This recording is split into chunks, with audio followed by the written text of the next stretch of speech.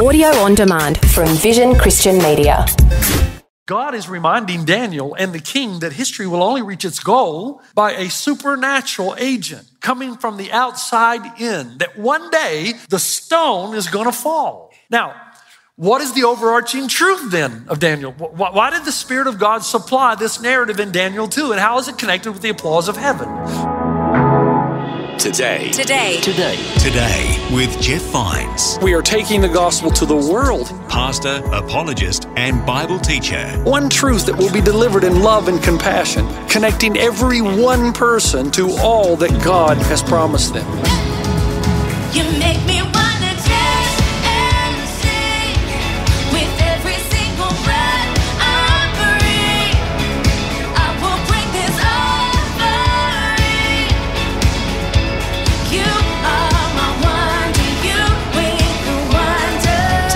Today. Today. Today. Today with Jeff Vines.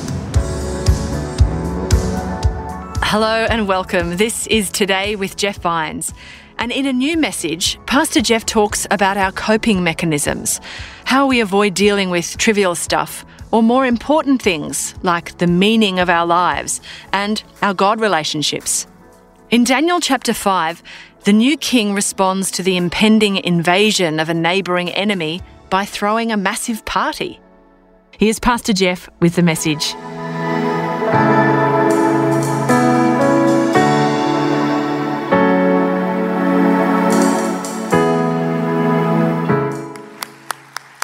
I love to see somebody who's been gifted uh, to use their talent for a purpose greater than themselves. It's inspiring, isn't it? When somebody you can tell has a very, very cool gift. I know cool's not the greatest word I could use, but I wish I could play the piano. I wish I could. I mean, how many of you sing in the shower? how many of you sing very well in the shower? Yeah, okay. Now, here's my question to you Do you think there's ever applause in heaven? Do you think there's ever a time where the angels just break out in applause and God the Father high fives the Son uh, and the Holy Spirit's just, you know, pumped? Is there ever a time you think that happens? And I know on one occasion we were told that when somebody far from God comes near to God, that happens. But you know, there's another time that happens. There's a time that something we do catalyzes this round of applause in heaven so much so that Jesus can't wait to tell us about it until we get to heaven. So he mentions it in his preaching in the New Testament. And I want to take you through this, Daniel chapter 2, and lead you to that place. We're, we're in a series called Now, and we're asking the question how is it that you and I, as Christians, can live in this non Christian world? And we discover that there is a definitive way that you and I are supposed to live. And when we live that way, and we're not just talking about purity and holiness and doing everything right, but when we live that way, there's applause that just circulates through heaven that, that, that culminates or crescendos in the day that we meet Jesus. So I'm in Daniel chapter 2, and we find a king who's had a dream. This is what it says in verse 1. In the second year of his reign, Nebuchadnezzar had dreams. His mind was troubled, and he could not sleep.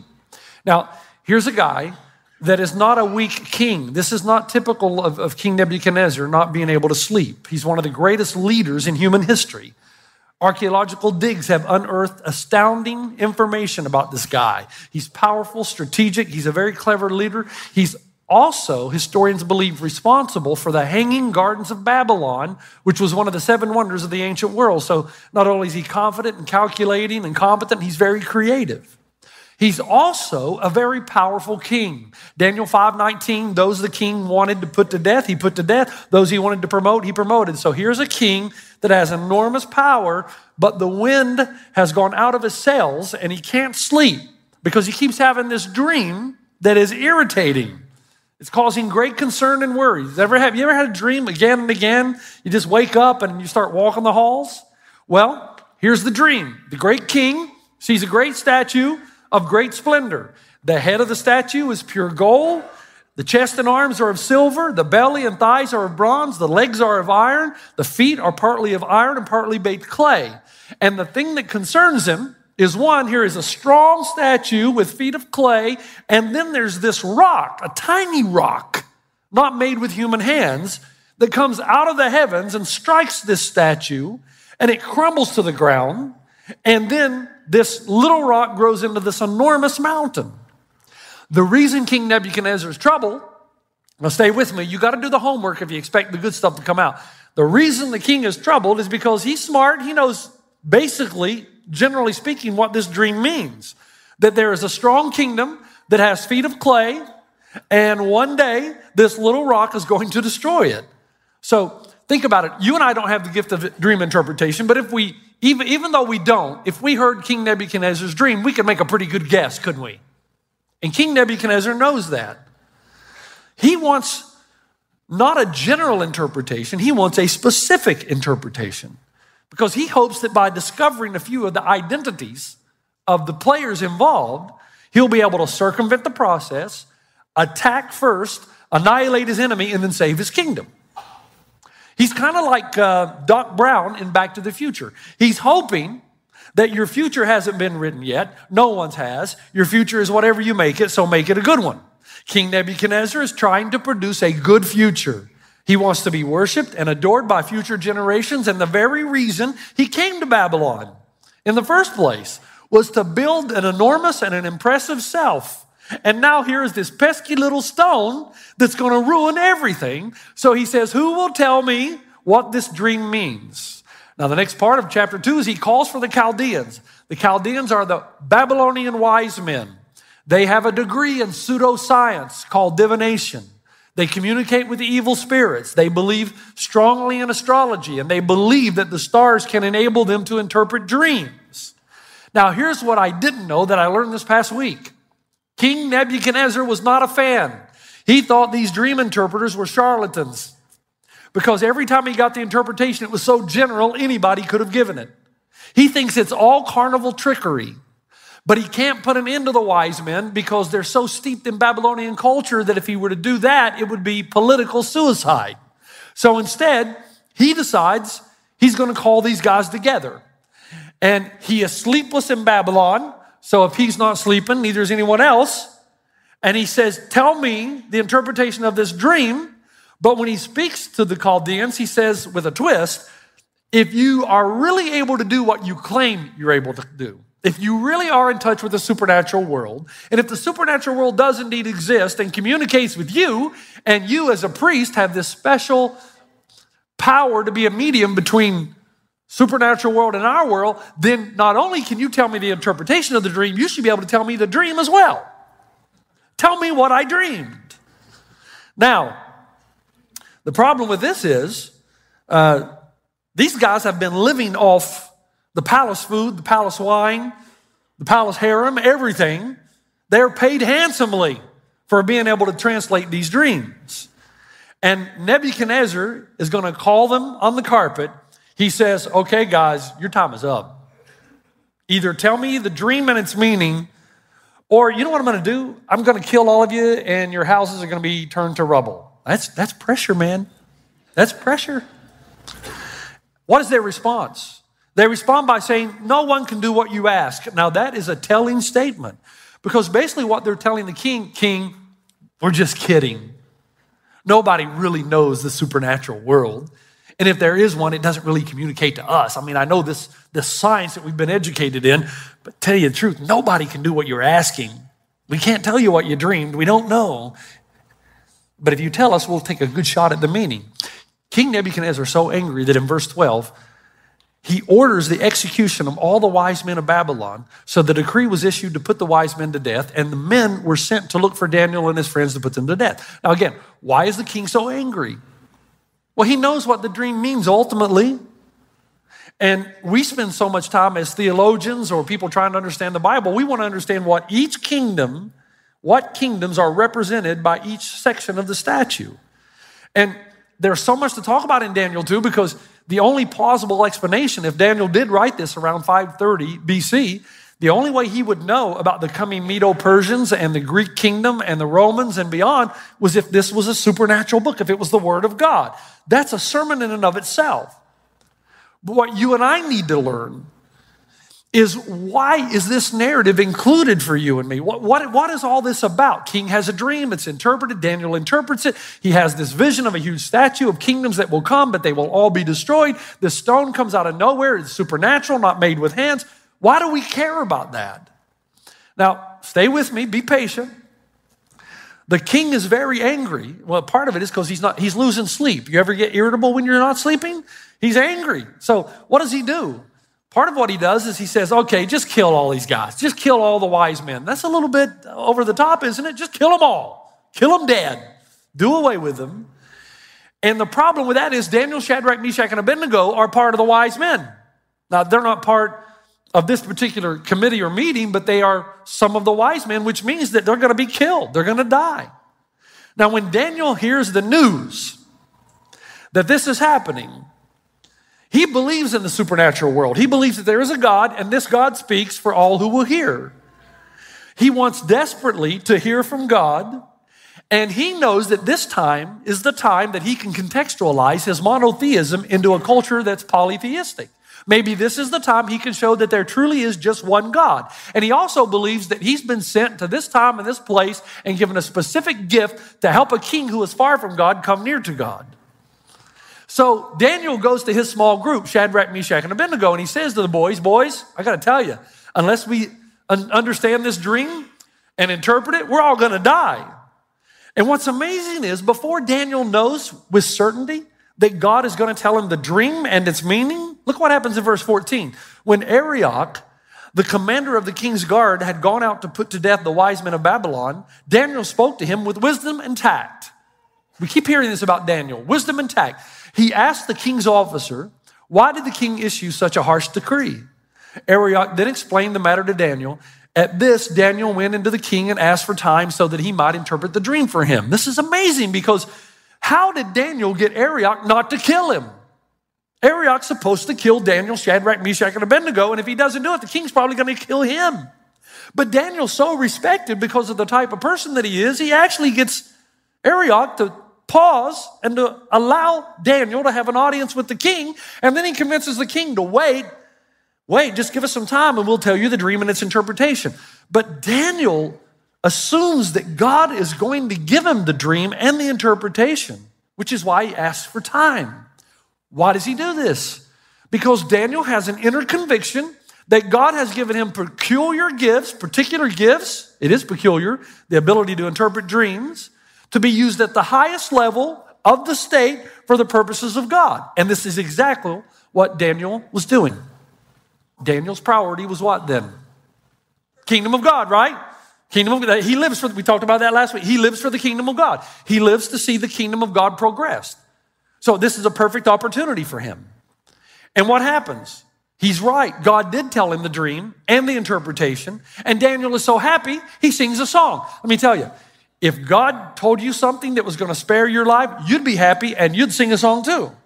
And listen to the words, because we learn a lot. Praise be to the name of God forever and ever. Wisdom and power are His. He changes times and seasons. He deposes kings and raises up others. He gives wisdom to the wise and knowledge to the discerning. He reveals deep and hidden things. He knows what lies in darkness, and light dwells with Him.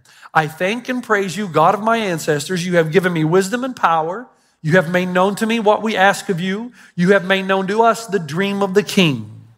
So let's hold off on the application just for a moment.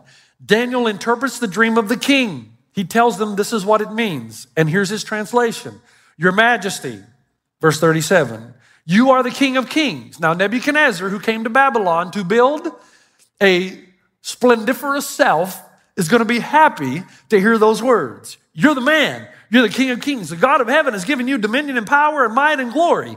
In your hands, He has placed all mankind and beasts of the field and the birds in the sky. Wherever they live, He has made you ruler over them. You are that head of gold. Now, if you're the king, you're thinking, woo, I'm the man. I am the head of gold. And then, devil, then Daniel says, but you're not going to last. There's going to be three kingdoms that will come after you, and they won't last either although one will be very strong and crush all the others. And then he says, and by the way, let me take a breath here. We could spend six months on this book, and I'm trying to do it in 35 minutes, or at least on this chapter. But I want you to notice a few things along the way because in verse 44, in the time of those kings, so during the time of these kings and kingdoms, the God of heaven will set up a kingdom that will never be destroyed. So this is not, this stone is not a kingdom that is the fifth kingdom on planet Earth. This kingdom is actually operating during the time of some of the kingdoms that are operating. You with me? It's not another human kingdom. That's why we're told it's not made with hands. Nor will it be left to another people. It's not a kingdom that people inherit in generation after generation on planet Earth. It will crush all those kingdoms and bring them to an end, but it will itself endure forever. This is the meaning of the vision of the rock cut out of the mountain, but not by human hands. A rock that broke the iron, the bronze, the clay, the silver, and the gold to pieces. So now, now that we know there is a kingdom that is coming that is not a man made kingdom, that is going to last forever, what does that have to do with you and me? And what does it have to do with the applause of heaven? All right, first, there are things that we learn that we think we know them, but we live as though we do not. And the first is this no king, president, prime minister, dictator, or any other leader rules without God's permission. You understand that? That, that makes sense because if God is truly sovereign and all powerful, then he could remove any leader anytime, anywhere, right? God is truly large and in charge. He can take anybody out at any time. Now, this is one of the major arguments the skeptic or the non Christian has against Christianity and the Christian God. Because their next comment is going to be this You're telling me that God allows a guy like Mugabe or Lenin or Stalin or Hitler to stay on the throne as long as they do and wreak havoc on humanity? Now, I want to answer this question in full detail next week. Sorry. I, if I go down this path, we're never going to get to what Daniel 2 is ultimately about. I will tell you that one of the favorite illustrations is Sam Gamgee in Lord of the Rings. When he, he comes to the conclusion that everything one day is going to become untrue. That all those times in our lives in history that seem to appear useless or senseless, suddenly, when the Lord returns, everything's going to be turned right side up again. And those things that brought enormous sadness into our lives, suddenly they're going to start to make sense. And you would expect God, if God exists, to contradict you at some point. and you would expect God to, to have access to knowledge and wisdom that you just don't have. And, and the, minute, the minute you say, Well, I just find that preposterous, then I'm going to take you back to the number one symbol of our faith, the cross, where it appeared that evil was winning, that God had lost, the disciples would never be able to gather back together and change anything, that there was a senseless, meaningless crime against someone who was a sinless, perfect, righteous human being. And yet God takes this atrocity and turns it into the greatest feat of humanity, the salvation of the world. You with me? So these are clues. The other thing that we don't get to talk about often is that no matter what happens in this world, God can recover. Until you start looking at things in your life through the lens of eternity, nothing's going to make any sense to you. But when you look through the lens of eternity, then you realize that no matter what happens here, God is able to recover. Why? When I lived in New Zealand and the tsunami hit in 2004, one of the, one of the the strongest accusations against Christ, against the kingdom of God, and the Christian belief in a merciful good God was this How could your good God allow all these little children to die in this tsunami? And my response was always the same. First of all, I think God hurts when things happen, but at the same time, God can recover because he who gave life once can give it again. And the former life is nowhere near as glorious as the next life. So, see, you and I, when we take a life, we can't recover because we don't have the power to give it back. When God allows a life to pass, He can recover because the next life He gives is glorious, far more glorious than anybody can imagine. And it's ultimately what every one of us in this room is after. And so, that's just part of the answer. Second, though, the thing that we're supposed to learn in Daniel 2, no matter how strong or brilliant a kingdom is, it always has one major weakness. What is the major weakness of every earthly kingdom? People. They're flawed. They have feet of clay, no matter how strong the kingdom is, right? Do you know why this church is not perfect? Because you're here. and if you're looking for one, in heaven's name, don't go there, you'll ruin it. I mean, there's no such thing. People are going to wound you. People are going to offend you. They're all sinners in this room who need the same grace that you need. One of my favorite illustrations is G.K. Chesterton. The New York Times ran an article years ago What's wrong with the world? And they asked writers all over the world to, to write in, and people wrote paragraph after paragraph. Here's what's wrong with the world.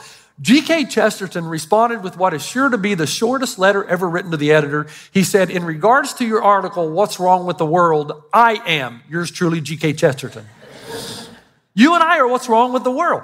If you're looking for some kind of government on planet Earth to produce a utopian lifestyle, it's never going to happen because they're all flawed. Socialism, communism, capitalism, monarchy, anarchy, they all fall short.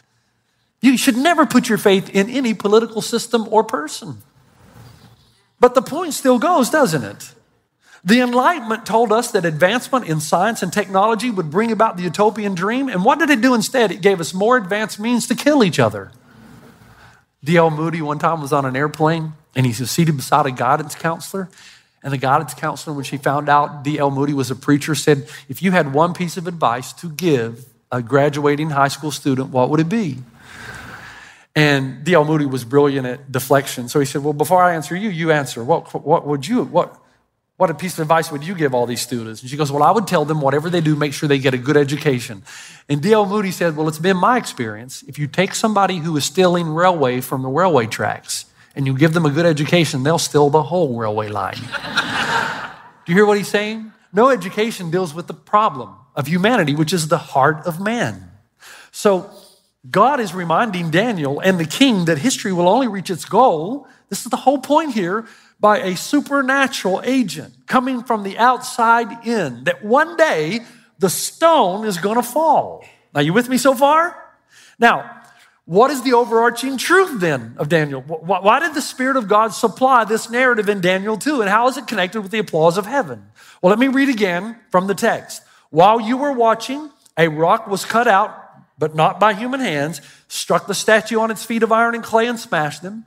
Then the iron, the clay, the bronze, the silver, and the gold were all broken to pieces and became like chaff on the threshing floor in the summer. The wind swept them away without leaving a trace, but the rock that stood, that struck the statue, became a huge mountain and filled the whole earth. And then he says in verse 44 In the time of those kings, the God of heaven will set up a kingdom that will never be destroyed, nor will it be left to another people. It will crush all those kingdoms and bring them to an end, but it will itself endure forever. Now, do you see what's happening? So, rather than getting sidetracked and me showing you how accurate these prophecies were and what kingdom will come, can we step out of the, the, the, the, the trees and, and see the forest? What's the big idea here? Well, while these kingdoms of men are progressing and wreaking havoc on humanity, there is another kingdom that exists simultaneously. Okay? Now, the kingdom of God is here, but not here. it's here, but not yet. It's here in that Jesus established it when he first came to earth and died for your sins. And the kingdom of God comes upon the heart and mind of every believer. That kingdom exists at the same time as the earthly kingdoms, right? So it's here, but not yet. But one day it will be in full when Christ returns, and that kingdom will be the kingdom that exists forever. So we know that. So that begs the question then, and this is what Daniel 2 is about. You get to decide which kingdom you're going to live for now. And you can't fool God because if you're truly living for the right kingdom, then there will be great intention to align your life with that kingdom and building that kingdom in the course of your existence. It's a beautiful thing because your direction will determine your destination. You've been listening to Today with Jeff Vines. Thanks for joining us. Next time, we'll bring you the rest of this message from Pastor Jeff. Ephesians 2:10 For we are God's handiwork, created in Christ Jesus to do good works which God prepared in advance for us to do. And as soon as you decide to start building the kingdom of God, he injects them with the power of the Spirit to cause them to come alive. God injects a power into you to be able to use you You can listen to more messages like this. Just search for Today with Jeff Vines wherever you get your podcasts.